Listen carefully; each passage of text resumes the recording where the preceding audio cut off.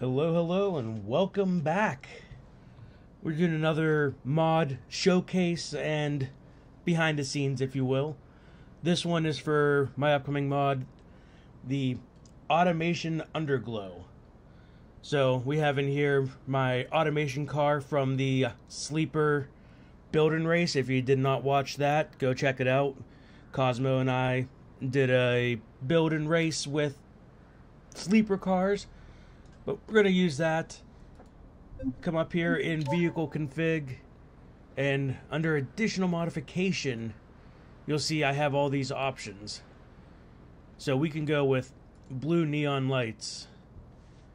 And then if we hit Alt N, bam. Now you see that the light bars are kind of floating. That's fine because we can come in here into the tuning and then you can go down to the underneath vehicle advanced settings. We have the different offset options here. So let's see, we want the rear to go further back. Alright, the side looks good. And then I'm not sure where the front is, so we're just going to bump the height up so I can see. Okay, the front looks like it's pretty good. So let's just bring this height down. And Alt N. And there we go.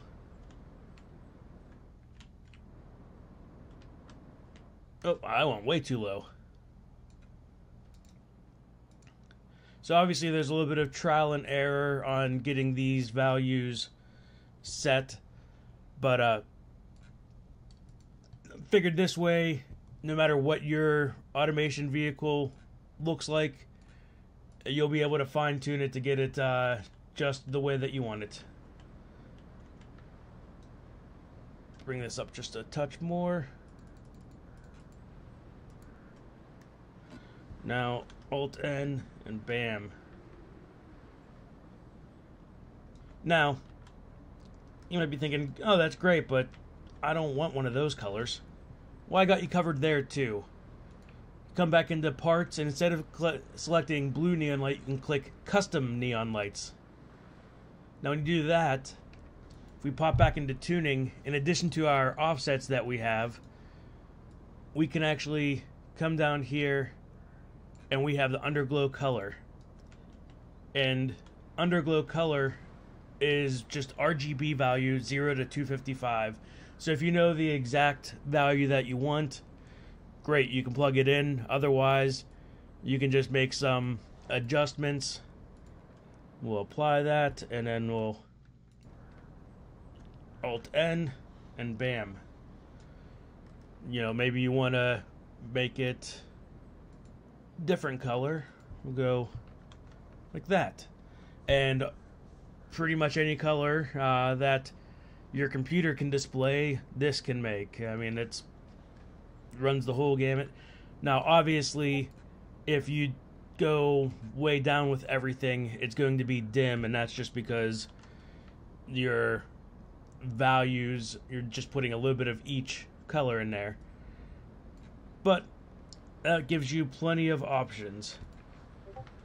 So, hopefully that's easy enough to understand how to use, and I'll be putting a link down in the description.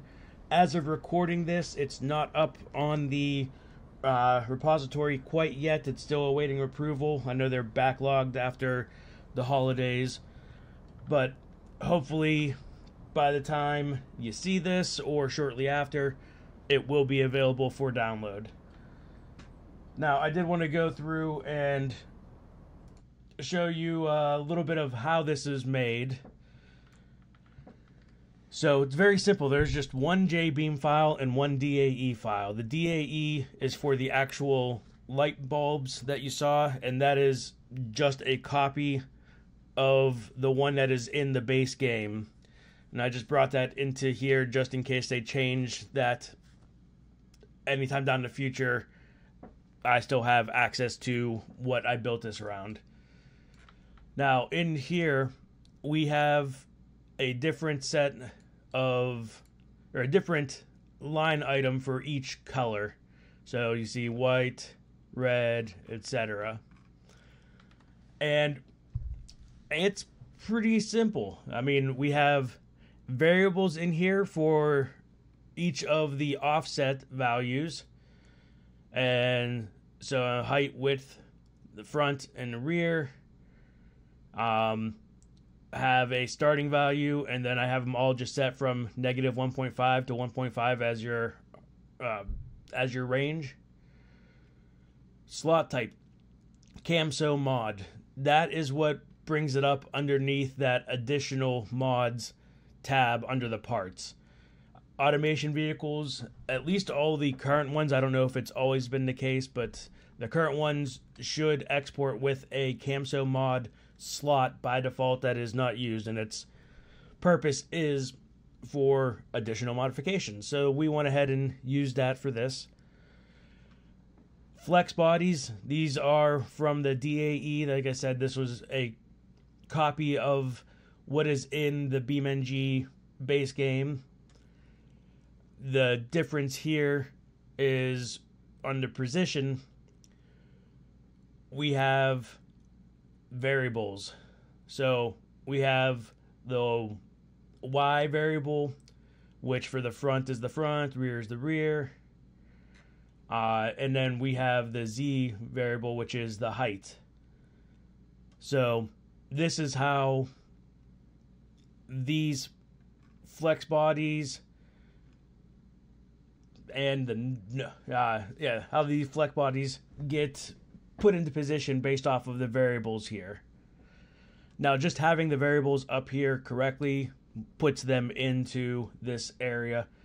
And if we scroll over, you can see that it actually has subcategory underglow color or underglow offset, which is this right here. So that's how you change that, and you can also change what the main category is. I just used the vehicle advanced settings that's already in there. Then we have the glow map. So, glow map, this is just copied right off of the existing ones from BeamNG.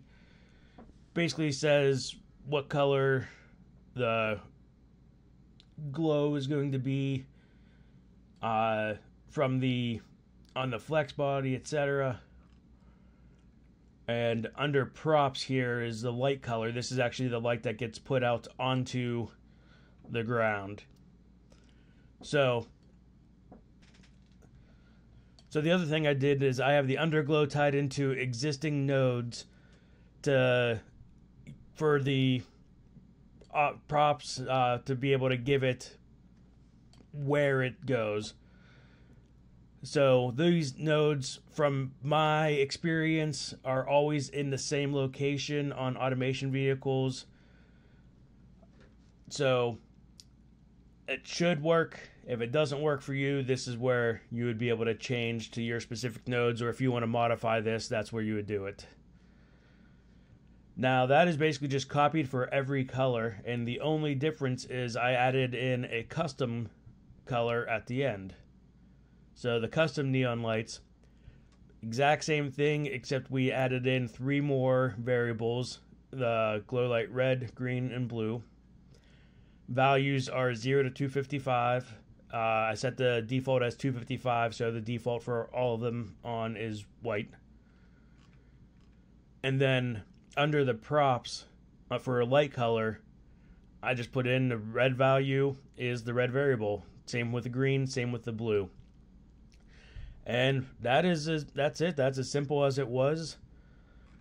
And now should be able to use this on any automation vehicle or any other vehicle that you make that has a Camso mod slot. And as I said, you just need to go in and adjust the layout of the actual lights themselves. And other than that, it's good to go. So, hope you enjoyed this little breakdown of A, how to use the mod, and B, how the mod was created.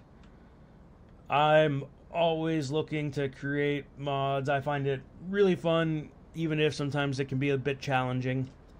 So if you have any suggestions, if you have any ideas, let me know. I am not an expert at this, so there's no guarantee I'll be able to do it, but I'll gladly attempt things and learn in the process. And I like sharing it with you. Hopefully, you enjoy it as well. If you do, hit the like and subscribe button. Check out some of the other vehicles. Don't forget to take a look at the sleeper build and race if you haven't already. And I hope you enjoyed this and have a good one. Peace.